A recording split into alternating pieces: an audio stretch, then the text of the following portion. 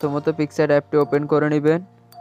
এখানে যত ধরনের ব্যাকগ্রাউন্ড এবং পিএনজিগুলো ব্যবহার করা হবে, সকল পিএনজি এবং ব্যাকগ্রাউন্ড আমার টেলিগ্রামে দেওয়া থাকবে। টেলিগ্রামের লিঙ্ক আমার ডিসক্রিপশনে দেওয়া আছে।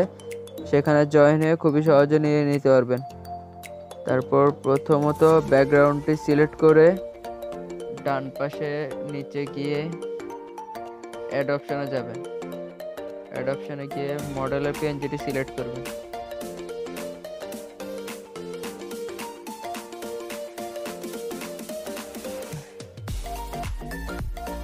উপরে ডান পাশে অ্যাড করে দিব। অ্যাড করার পর ছবিটির ব্যাকগ্রাউন্ড ইরেজ করা আছে। ব্যাকগ্রাউন্ড ইরেজ করার ভিডিও ভিডিও লিঙ্ক ডিসক্রিপশনে দেওয়া আছে।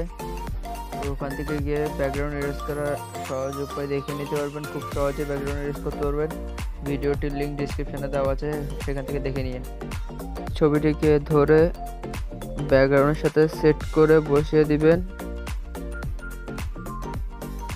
বসিয়ে তারপরে বাম পাশে ইরেজ অপশানে যাবেন। আবার ইরেজে ক্লিক করে অ্যাডজাস্ট করবেন। Hardness fifteen opacity thirty two তারপর অ্যাড একশো করে তারপর ইরেজ করে দিবেন চারো সাইডে যেন বোঝা যায় মানে এটা আমাদের ওই স্মোকের ভিতর এটা।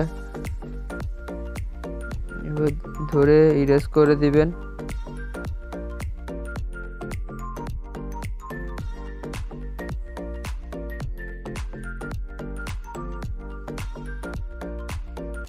ইরেজ করার পর ডান পাশে উপরে সিলেক্ট করে দিব। তারপর আবার বাম পাশে উপরে সিলেক্ট করে দিব।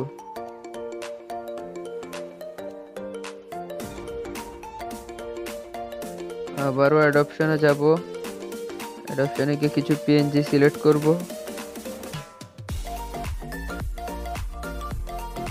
জিটি অ্যাড করে এভাবে দুই হাতে ধরে অ্যাডজাস্ট করে বসিয়ে দিবেন।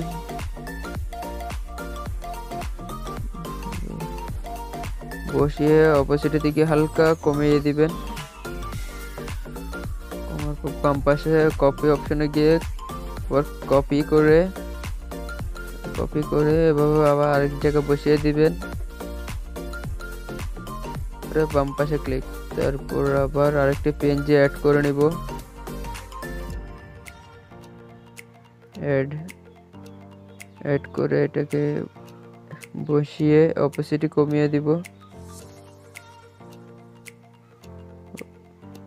তারপর বাম পাশে ঠিক করে দিব। আবারও অ্যাড অপশনে গিয়ে আরেকটি পেনজি সিলেক্ট করে বসিয়ে ছোট করে অপোজিটের দিকে অপোজিটে কমিয়ে দিব। তারপর কপি অপশনে গিয়ে আবার আরেকটি কপি করে নিব। কপি করে ছোট্ট করে তার সাইডে হালকা করে ছোট করে ঘুরিয়ে বসিয়ে দিব। তারপর বাম পাশে বাম পাশে ঠিক করে দিব উপরে। তারপর আবারও অ্যাড অপশনে যাব। কিছু বর্ডার পিএনজি সিলেক্ট করে নিব। অ্যাড করে ছোট্ট করে বসিয়ে দিব। ছোট্ট করে বসিয়ে অপোজিটিতে ক্লিক করে অপোজিটে কমিয়ে দিব। তারপর বাম পাশে ঠিক করে দিব। আবারও অ্যাড অপশনে যাব। এটিকে আরেকটি বর্ডার পিএনজি সিলেক্ট করে অ্যাডে ক্লিক করব। ক্লিক করে ওটাকে ডান পাশে নিয়ে ছোট্ট করে অপোজিটিতে ক্লিক করে অপোজিটে কমিয়ে দিব। তারপর বাম পাশে ক্লিক করে দিব।